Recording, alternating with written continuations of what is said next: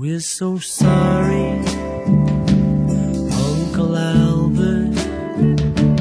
We're so sorry if we caused you any pain.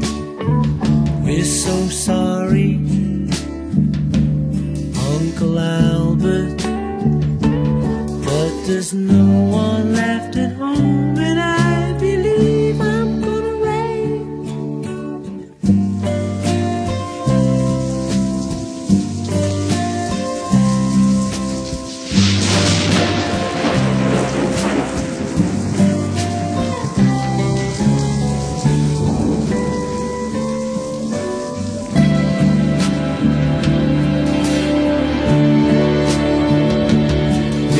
so sorry, but we haven't heard a thing all day. We're so sorry, Uncle